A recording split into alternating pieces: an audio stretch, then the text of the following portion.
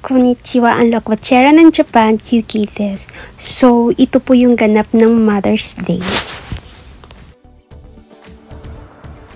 Dito po kami sa Kito Kurash Coffee Shop.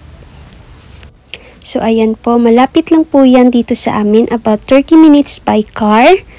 So, ayan po yung view sa labas at marami po mga display sa loob. At yun po yung counter. At kung mahilig ka sa fresh air, tahimik, nature, maganda dito. So, kasama ko pala yung mga fur babies ko. So, ayan po yung view sa labas. Ang tahimik. Masarap mag-coffee habang nagmumuni-muni. Ayan po. So, naisipan ko palang pumunta dito kasi nga night shift po ako mamaya. So, para hindi masyadong malayo, so dito na lang kami nag-lunch.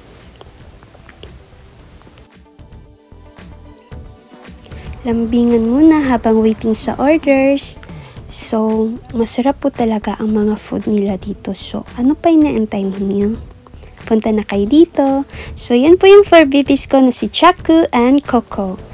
So, ayan po. After namin nag-lunch, walking-walking muna kami dyan sa labas ng restaurant. So, may hindi po nakahula kung anong unang gift niya sa akin.